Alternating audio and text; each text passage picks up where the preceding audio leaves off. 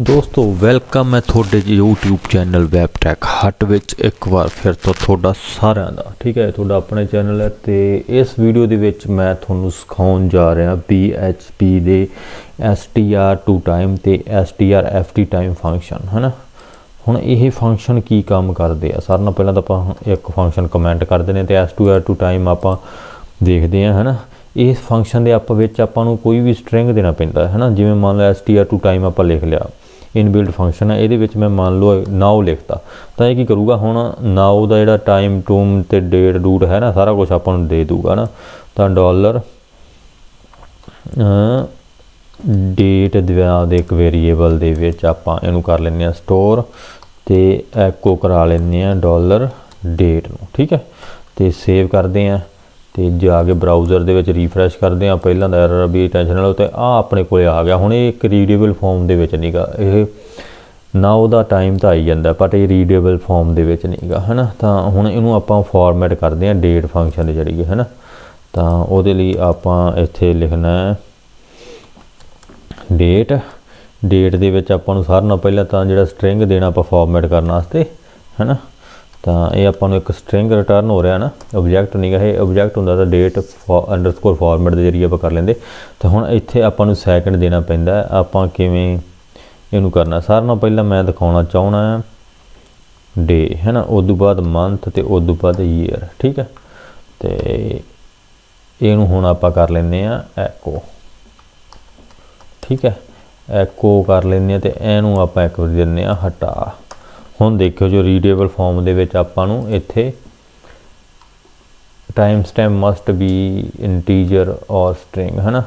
ਤਾਂ ਇਹਨਾਂ ਨੇ ਕੀ ਕਿਹਾ? ਇਹਦੇ ਵਿੱਚ ਮੈਨੂੰ ਲੱਗਦਾ ਵੀ ਆਪਾਂ ਨੂੰ ਫਾਸਟ ਟਾਈਮ ਦੇਣਾ, ਆਪਾਂ ਇੱਕ ਵਾਰੀ ਇਹਨੂੰ ਹਟਾ ਦਿੰਦੇ ਹਾਂ ਨਾ ਹਟਾਉਣ ਨਾਲ ਕੀ ਹੁੰਦਾ ਨਾ, ਇਹ ਰਲਦੇ ਮਿਲਦੇ ਜੇ ਫੰਕਸ਼ਨ ਹੁੰਦੇ ਆ ਤੇ ਆਪਾਂ ਨੂੰ ਪਤਾ ਲੱਗ ਜਾਂਦਾ ਵੀ ਪਹਿਲਾਂ ਕੀ ਚੀਜ਼ ਦੇਣੀ ਹੁਣ ਪਹਿਲਾਂ ਆਪਾਂ ਨੂੰ ਸਟ੍ਰਿੰਗ ਦਾ ਫਾਰਮੈਟ ਦੇਣਾ ਪੈਣਾ। ਦੂਜੇ ਨੰਬਰ ਤੇ ਆਪਾਂ ਨੂੰ ਟਾਈਮ ਸਟੈਂਪ ਦੇਣੀ ਪੈਣੀ ਉਹ ਆਪਣੇ ਕੋਲ ਨਾ ਐਕਚੁਅਲੀ ਟਾਈਮ ਸਟੈਂਪ ਆ ਰਹੀ ਹੈ ਜੇ ਮੈਂ ਤੁਹਾਨੂੰ ਇੱਕ ਵਾਰੀ ਫੇਰ ਖੜ ਦੂ ਯਾਰ ਡਾਲਰ ਡੇਟ ਐਕੋ ਕਰਾਂ, ਹੈਨਾ? ਤਾਂ ਤੁਹਾਨੂੰ ਸਮਝਾਉਣੀਆਂ ਚੀਜ਼ਾਂ ਜ਼ਰੂਰੀ ਹੁੰਦੀਆਂ। ਆਪਣੇ ਕੋਲ ਇੱਕ ਟਾਈਮ ਸਟੈਂਪ ਆ ਰਹੀ ਹੈ ਠੀਕ ਹੈ ਤੇ ਰੀਡੇਬਲ ਫਾਰਮੈਟ ਦੇ ਵਿੱਚ ਨਹੀਂਗੀ ਹੁਣ ਆਪਾਂ ਇਹਨੂੰ ਰੀਡੇਬਲ ਫਾਰਮੈਟ ਦੇ ਵਿੱਚ ਦਿਖਾਉਣ ਵਾਸਤੇ ਐਕੋ ਕਰਦੇ ਆ ਡੇਟ ਨਾਮ ਦੇ ਫੰਕਸ਼ਨ ਨੂੰ, ਠੀਕ ਹੈ ਇਹਦੇ ਵਿੱਚ ਉਹ ਪਹਿਲਾਂ ਕਹਿੰਦੇ ਵੀ ਦਿਓ ਆਪਦਾ ਫਾਰਮੈਟ ਹਨਾ? ਮੈਂ ਬਾਅਦ ਚ ਉਹ ਦੇਈ ਜਾਂਦਾ ਸੀਗਾ। ਪਹਿਲਾਂ ਮੈਂ ਦਿਖਾਉਣਾ ਚਾਹਣਾ ਦੇ ਉਦੋਂ ਬਾਅਦ ਮੰਥ ਤੇ ਉਦੋਂ ਬਾਅਦ ਰੀਅਰ ਕੈਪੀਟਲ ਚ ਲਿਖ ਦਿੰਨੇ ਆਪਾਂ, ਹਨਾ?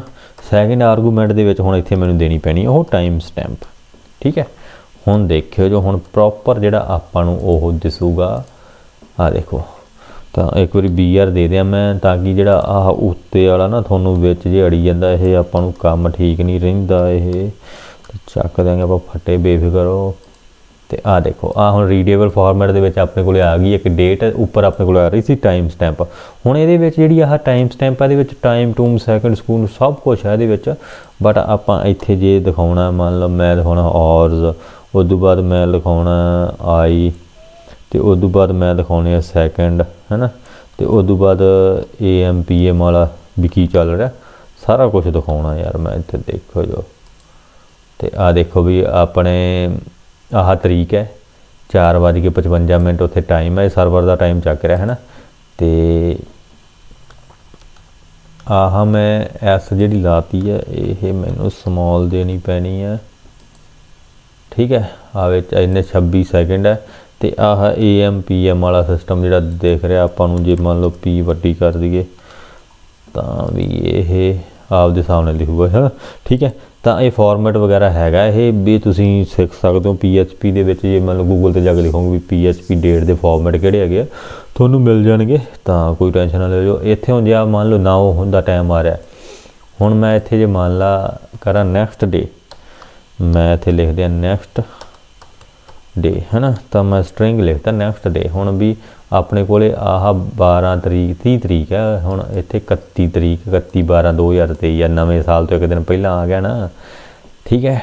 ਤਾਂ ਆਪਾਂ ਇਹਦੇ ਵਿੱਚ ਸਟ੍ਰਿੰਗ ਟਾਈਪ ਕਰਨੇ ਹੁੰਦੇ ਆ S T R to time ਯਾਨੀ ਕਿ ਸਟ੍ਰਿੰਗ ਟੂ ਟਾਈਮ ਇਹ ਕਰ ਦਿੰਦਾ। ਤੇ ਜੇ ਮੈਂ ਇੱਥੇ ਲਿਖ ਮੰਨ ਲਓ ਮਾਈਨਸ ਮਾਈਨਸ 12 ਮੰਥ ਹਨਾ, ਯਾਨੀ ਕਿ 12 ਮਹੀਨੇ ਮੈਂ ਇਹਦੇ ਵਿੱਚ ਕਰਦੇ ਮਾਈਨਸ ਤਾਂ 2023 ਹੈ ਤੇ 2022 ਹੈਗਾ ਨਾ ਆਪਣੇ ਕੋਲ ਸਾਲ, ਤਾਂ ਇਸ ਤਰੀਕੇ ਨਾਲ ਇਹ ਚੀਜ਼ਾਂ ਵਰਕ ਕਰਦੀਆਂ। ਮਾਈਨਸ ਮੰਥ ਵੀ ਕਰ ਸਕਦਾ ਮੈਂ ਮਾਈਨਸ 12 ਡੇਜ਼ ਵੀ ਕਰ ਸਕਦਾ। ਠੀਕ ਹੈ ਤੇ ਪਲੱਸ ਜੇ ਕਰਨੇ ਆ, ਦੇਖੋ 12 ਡੇਜ਼ ਦੇ ਵਿੱਚ ਮਾਈਨਸ ਹੋ ਗਏ। ਤੇ ਪਲੱਸ ਕਰਨੇ ਆ, ਮੰਨ ਲਓ ਮੈਂ ਇੱਥੇ ਮਾਈਨਸ ਪਲੱਸ ਕੁਝ ਵੀ ਨਹੀਂ ਹੁੰਦਾ 12 ਡੇਜ਼ ਹੀ ਲਿਖਦਾ ਮੈਂ।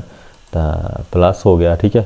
12 ਡੇਜ਼ ਪਲੱਸ ਤਾਂ ਮੈਂ ਇੱਥੇ ਐਂ ਵੀ ਲਿਖ ਸਕਦਾ 1 ਈਅਰ ਤੇ 1 ਈਅਰ 2 ਮੰਥ 12 ਦਾ। ਜਿਵੇਂ ਯਾਰ ਨਾਰਮਲ ਆਪਾਂ ਇੱਕ ਚੀਜ਼ ਲਿਖ ਦਿੰਦੇ ਆ ਇਹਨੇ ਉਵੇਂ ਅੱਗੇ ਲੈ ਜਾਣਾ ਕੰਮ ਕਰਕੇ। ਮੰਨ ਲਓ ਆ 2025 ਲੈ ਗਿਆ ਨਾ 1 ਸਾਲ 2 ਮਹੀਨੇ, ਹੈਨਾ? ਤੇ 12 ਡੇ ਦੇ ਸਾਰੀਆਂ ਚੀਜ਼ਾਂ ਪਲੱਸ ਹੋ ਗਈਆਂ। ਜੇ ਮੰਨ ਲਓ ਮੈਂ 1 ਈਅਰ ਮਾਈਨਸ ਕਰ ਦਿਆਂ ਤੇ 2 ਮਹੀਨੇ ਵਿੱਚ ਪਲੱਸ ਹੋ ਕੇ, ਤੇ 12 ਡੇਜ਼ ਪਲੱਸ ਹੋ ਗਿਆ ਆਪਾਂ ਨੂੰ ਚੀਜ਼ ਮਿਲ ਜੂਗੀ, ਠੀਕ ਹੈ? ਤਾਂ ਇਸ ਤਰੀਕੇ ਨਾਲ ਇਹ ਚੀਜ਼ਾਂ ਵਰਕ ਕਰਦੀਆਂ ਐਸਟੀਆਰ ਯਾਨੀ ਕਿ ਇੱਕ ਸਟ੍ਰਿੰਗ ਤੋਂ ਆਪਾਂ ਇੱਕ ਟਾਈਮ ਤੇ ਡੇਟ ਲੈ ਸਕਦੇ ਹਾਂ ਲਿਖ ਕੇ ਹੈਨਾ ਤਾਂ ਇਹਦੇ ਵਿੱਚ ਸਿੰਪਲ ਮੈਂ ਰਹਿਣ ਦਿੰਦਾ ਇੱਕ ਵਾਰੀ ਨਾਓ ਠੀਕ ਹੈ ਹੁਣ ਆਪਾਂ ਇਹਨੂੰ ਕਰ ਦਿੰਨੇ ਆ ਕਮੈਂਟ यानी कि हम इसको करने लगे हैं अब कमेंट ਤੇ ਆਪ ਕੋਲ ਸਿਖਾਏਗੇ ਹੁਣ ਆਵਾ ਆਗੇ ਤੇ ਹਿੰਦੀ ਵਾਲਾ ਵੀ ਮੇਰੇ ਕੋਲੇ ਕਈ ਵਾਰੀ ਤਾਂ ਮੈਂ ਦਿਮਾਗ 'ਚ ਆ ਜਾਂਦਾ ਹੈ ਨਾ STR to FT ਟਾਈਮ ਕੀ ਹੈ ਹੈ ਨਾ STR to FT ਟਾਈਮ ਹੈਗਾ, ਇਹ ਇੱਥੇ ਤਾਂ ਹੁਣ ਆਪਾਂ ਡੇਟ ਲਿਆ ਸੀਗਾ ਨਾਲ ਫਾਰਮੈਟ ਕਰਨ ਵਾਸਤੇ ਲਿਆ ਸੀ ਨਾ, ਤੇ ਇਹਦੇ ਵਿੱਚ ਫਾਰਮੈਟ ਦਿੱਤਾ ਸੀ। But STR to FT time ਜੇ ਮੈਂ ਗੂਗਲ ਤੇ ਲਿਖਾਂ, ਮੰਨ ਲਾ ਯਾਰ ਆਪਾਂ ਮੈਂ ਇੱਥੇ ਲਿਖ ਦਿੰਨਾ STR T time P H P ਮੈਂ ਲਿਖ ਦਿੰਦਾ ਠੀਕ ਹੈ? ਤੇ ਆਹ ਮੈਨੂੰ ਇੱਕ ਵੈਬਸਾਈਟ ਤੇ ਲੈ ਗਿਆ W3 ਸਕੂਲ ਵਾਲਿਆਂ ਦੀ ਤੇ ਇੱਥੇ ਆਪਾਂ ਨੂੰ ਡਿਟੇਲ ਨਾਲ ਇਹਦੀ ਡਿਟੇਲ ਮਿਲ ਜੂਗੀ ਜੇ STR to FT ਟਾਈਮ ਹੁਣ ਆਹ ਇਹਨਾਂ ਨੇ, ਆਹ ਮੈਂ ਕਰ ਲੈਣਾ ਇੱਕ ਵਾਰੀ ਕਾਪੀ ਤੇ ਐਕੋ ਕਰ ਦਿੰਦਾ। ਤੁਹਾਨੂੰ ਸਮਝਾਉਂਗਾ ਵੀ ਬੇਫਿਕਰ ਹੋ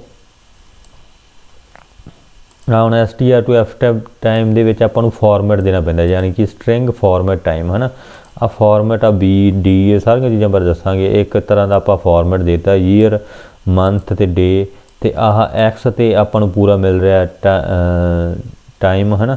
ਤੇ ਜ਼ੋਨ ਤੇ ਮਿਲ ਰਿਹਾ ਜਿਹੜਾ ਵੀ ਜ਼ੋਨ ਚੱਲ ਰਿਹਾ ਤੇ ਇਧਰ ਆਪਾਂ ਮੇਕ ਟਾਈਮ ਕਰਕੇ ਜਿਵੇਂ ਇੱਕ ਟਾਈਮ ਬਣਾਤਾ, ਠੀਕ ਹੈ ਯਾਨੀ ਕਿ ਮੇਕ ਟਾਈਮ ਜੇ ਮੈਂ ਦੂਰੀ ਵਾਰ ਇੱਕ ਆਪਦਾ ਟਾਈਮ ਬਣਾਵਾਂ, ਯਾਨੀ ਕਿ ਇੱਥੇ ਆਹ ਮੇਕ ਟਾਈਮ ਫੰਕਸ਼ਨ ਹੈ, ਇਹਦੇ ਵਿੱਚ ਮੈਂ ਲਿਖਦਾ 20 20 ਤੇ ਉਸ ਤੋਂ ਬਾਅਦ ਇਹਦੇ ਵਿੱਚ ਪਹਿਲਾਂ ਇਹ ਮੰਨ ਲਓ ਆਪਾਂ ਆਵਰਸ ਦੇਤੇ ਹੈ ਨਾ ਉਸ ਤੋਂ ਬਾਅਦ ਸੈਕਿੰਡ ਤੇ ਆਪਾਂ ਨੂੰ ਦੇਣਾ ਪੈਂਦਾ, ਮੰਨ ਲਓ 20 ਘੰਟੇ ਸੈਕਿੰਡ ਤੇ ਮਿੰਟ ਹੈ ਨਾ ਤਾਂ 25 ਮਿੰਟ ਮੈਂ ਦੇ ਦਿੰਦਾ ਥਰਡ ਤੇ ਉੱਤੇ ਆ ਦੇਖੋ ਮੇਰੇ ਕੋਲ ਨਾ ਸੁਜੈਸ਼ਨ ਇੱਥੇ ਆ ਰਹੀ ਹੈ ਨਾ ਤਾਂ ਉਹਦੇ ਅਕੋਰਡਿੰਗ ਰੱਟਾ ਲਾਉਣ ਦੀ ਚੀਜ਼ਾਂ ਲੋੜ ਨਹੀਂ 30 ਸੈਕਿੰਡ ਹੈ ਨਾ ਉਸ ਤੋਂ ਬਾਅਦ ਆਪਾਂ ਨੂੰ ਦੇਣਾ ਪਊਗਾ ਮੰਥ ਮੰਥ ਫਿਰ ਡੇ ਤੇ ਫਿਰ ਈਅਰ ਮੰਥ ਮੈਂ ਇੱਥੇ ਦੇ ਦਿੰਨੇ ਆਪਾਂ 11ਵਾਂ ਮਹੀਨਾ ਤੇ ਡੇ ਆਪਾਂ ਦੇ ਦਿੰਨੇ ਆ 7 ਤੇ ਈਅਰ ਆਪਾਂ ਦੇ ਦਿੰਨੇ ਆ 2028 ਠੀਕ ਹੈ? ਤਾਂ ਆਹ ਹੁਣ ਆਪਾਂ ਇੱਕ, ਇਹਨੂੰ ਆਪਾਂ ਐਕੋ ਕਰਦੇ ਹਾਂ। ਤਾਂ ਤੁਹਾਨੂੰ ਪਤਾ ਲੱਗ ਜੂਗਾ ਵੀ ਵਾਕਈ ਇਹ ਐਕੋ ਹੋ ਰਿਹਾ ਤੇ ਆਹ ਬਿੰਦੀ ਜੀ ਇੱਥੇ ਐਵੇਂ ਆ ਗਈ ਯਾਰ। ਤੇ ਸੇਵ ਕਰਦਾ ਮੈਂ। ਰੀਫਰੈਸ਼ ਕਰਦਾ। ਤਾਂ ਦੇਖੋ ਨਵੰਬਰ 7 2028 ਤੇ ਟਾਈਮ ਤੇ ਆਹ ਇੰਡੀਅਨ ਸਟੈਂਡਰਡ ਟਾਈਮ ਜ਼ੋਨ ਤਾਂ ਆ ਰਿਹਾ ਕਿਉਂਕਿ ਇੱਥੇ Z ਲਿਖਿਆ ਹੋਇਆ ਆਪਾਂ। Z ਦਾ ਨਾ ਟਾਈਮ ਜ਼ੋਨ ਹੁੰਦਾ। ਤੇ X ਨੇ ਪੂਰਾ ਆਹ ਟਾਈਮ ਦੱਸ ਦੇਣਾ ਆਪਾਂ ਨੂੰ, ਹੈਨਾ? ਤੇ Y ਈਅਰ ਤੇ D D ਤੇ B ਤੇ ਮੰਨ ਲਓ ਆਪਾਂ ਨੂੰ ਕੈਪ ਫੁੱਲ ਮੰਥ ਜਿਹੜਾ ਮਿਲ ਰਿਹਾ ਨਵੰਬਰ, ਇਹ ਮਿਲ ਰਿਹਾ। ਹੁਣ ਇਹ ਜਿਹੜੇ ਆਹ ਪਰਸੈਂਟੇਜ ਦੇ ਕੇ ਆਹ ਸਾਈਨ ਫਾਰਮੈਟ ਹੈ, ਇਹ ਤੁਹਾਨੂੰ ਕਿੱਥੋਂ ਪਤਾ ਲੱਗਣਗੇ? ਮੈਂ ਤਾਂ ਹੀ ਆ ਵੈਬਸਾਈਟ ਖੋਲੀ ਸੀ STR ਟੂ ਟਾਈਮ ਇਹਦੇ ਵਿੱਚ ਤੁਹਾਨੂੰ ਪਤਾ ਲੱਗ ਜਾਊਗਾ। ਇਹਦੇ ਵਿੱਚ STR FT ਟਾਈਮ ਦੇ ਵਿੱਚ W3 ਸਕੂਲ ਦੇ ਵਿੱਚ ਆਪਾਂ ਨੂੰ ਫਾਰਮੈਟ ਮਿਲ ਜਾਣਗੇ। ਯਾਨੀ ਕਿ A ਲਿਖਾਂਗੇ ਤਾਂ ਆਪਾਂ ਫੁੱਲ ਵੀਕ ਡੇ ਨੇਮ ਮਿਲ ਜੂਗਾ ਆਪਾਂ ਨੂੰ, B ਲਿਖਾਂਗੇ ਤਾਂ ਫੁੱਲ ਮੰਥ ਦਾ ਨਾਮ ਉੱਥੇ B ਲਿਖਿਆ ਹੋਇਆ ਨਾ। ਹੈਨਾ? ਤੇ ਬੀ ਲਿਖਾਂਗੇ ਕਿ ਸਮਾਲ ਚ ਆਬਜੈਕਟਿਵ ਮੰਥ ਵਾਲੀ ਅੰਗਰੇਜ਼ੀ ਆਪਣੀ ਹੈ ਨਹੀਂ ਆਈ ਤੁਸੀਂ ਫਾਰਮੂਲਾ ਇੱਥੇ ਆ ਕੇ ਪੜ੍ਹ ਸਕਦੇ ਹੋ, ਹੈਨਾ? ਤੇ ਹੁਣ ਜਿਵੇਂ ਉੱਥੇ Z ਲਿਖਿਆ ਹੋਇਆ, Z ਨੇ ਪੂਰਾ ਆਪਾਂ ਟਾਈਮ ਜ਼ੋਨ ਦੇਤਾ, ਹੈਨਾ? Y ਕੈਪੀਟਲ ਚ, ਹੈਨਾ? ਤੇ ਇੱਥੇ X ਸੀਗਾ ਇੱਕ X ਮੈਂ ਤੁਹਾਨੂੰ ਵਿਖਾਵਾਂ, X ਨੇ ਕੀ ਕਰਨਾ ਹੈ? ਪ੍ਰੈਫਰ ਟਾਈਮ ਰਿਪਰੈਜ਼ੈਂਟੇਜ ਹੈ ਨਾ ਵੀ ਕੱਲੀ ਪੂਰੀ ਜਿਹੜੀ ਟਾਈਮ ਦੀ ਰਿਪਰੈਜ਼ੈਂਟ ਯਾਨੀ ਕਿ ਇੱਕ ਜਾਂ ਟਾਈਮ ਆਪਾਂ ਨੂੰ ਮੈਨੂੰ ਬਾਹਲਾ ਅੰਗਰੇਜ਼ੀ ਨਹੀਂ ਆਉਂਦੀ ਹੈ ਨਾ ਬੇ ਟਾਈਮ ਆਪਾਂ ਨੂੰ ਇੱਕ ਬਣਾ ਕੇ ਰਿਪਰੈਜ਼ੈਂਟ ਕਰਕੇ ਦੇਤਾ ਹੈ ਨਾ ਤੁਸੀਂ ਇਹਨੂੰ ਬੋਲ ਸਕਦੇ ਹੋ, ਤੁਸੀਂ ਆਪ ਦੀ ਪੜ੍ਹੇ ਲਿਖੇ ਸਭ ਇਥੋਂ ਪੜ੍ਹ ਲਿਓ, ਠੀਕ ਹੈ?